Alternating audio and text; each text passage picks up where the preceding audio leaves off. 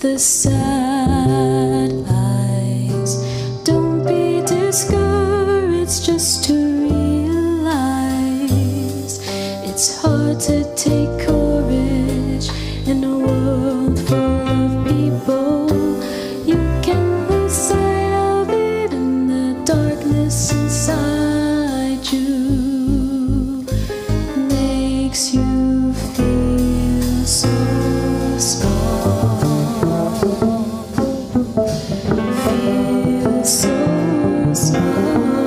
Thank you.